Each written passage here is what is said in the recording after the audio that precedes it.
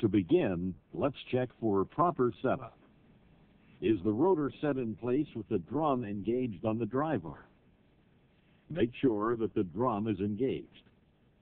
Are the drip trays set in place in the bottom of the rotisserie? Now check the drawer drain valve on the drip pan. The drain valve on the grease drawer needs to be in the off position. Next, turn the main power switch located on the front panel to on. Press 1 and then start.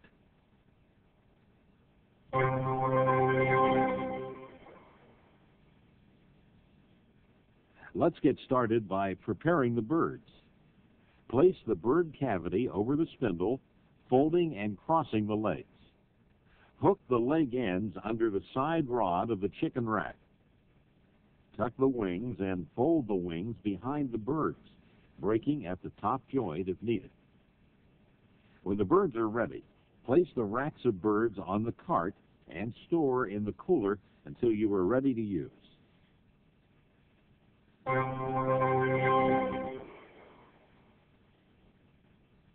To begin the cooking process, start by loading the birds. Load the birds directly from the cart into the preheated oven. Place the rack on the rotor drum. Skip this rack. Load this rack next. Move the rotor drum by pressing this keyboard button. When you push 2 and start, the cooking begins. Check the temperature at the thigh toward the end of the cooking cycle. The proper temperature at the thigh is 185 degrees Fahrenheit. If it appears you will not reach 185 degrees Fahrenheit, press the Add 5 Minutes button. At the end of the cooking cycle, the oven will go into a hold cycle.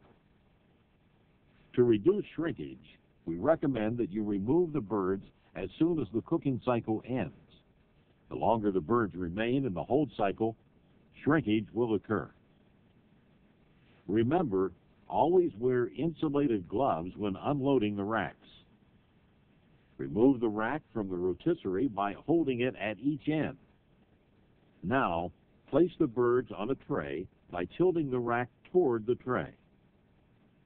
Finally, place the birds in a dome container, label, and immediately put into a hot case.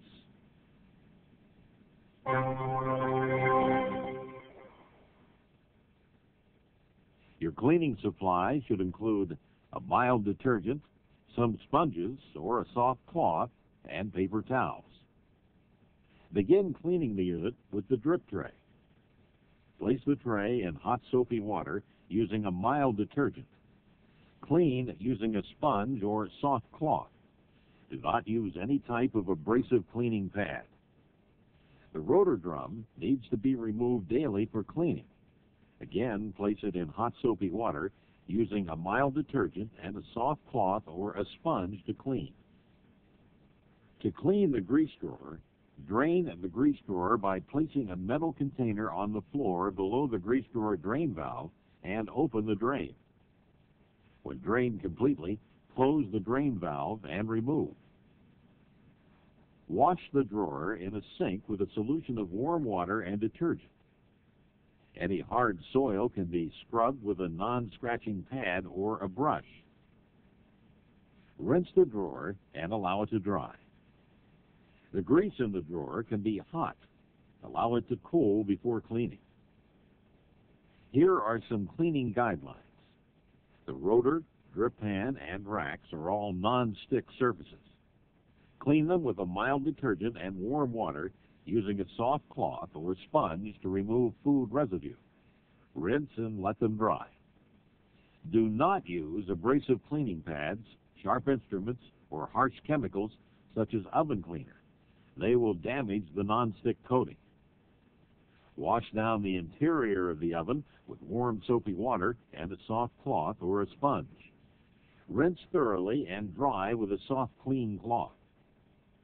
Clean the glass door with warm soapy water and a soft cloth. Do not use abrasive cleaning pads, sharp instruments, or harsh chemicals.